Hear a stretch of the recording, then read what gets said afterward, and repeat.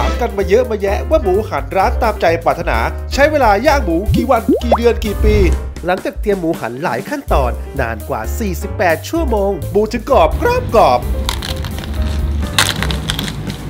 มาไขข้อข้องใจให้รู้กัน หมุน หมุน หมุน และก็หมุน หมุนไปหมุนมา 30 นาทีผ่านไป ยังไม่ทันพักสายตา 30 นาที ก็ได้หมูหันกรอบพร้อมเสิร์ฟได้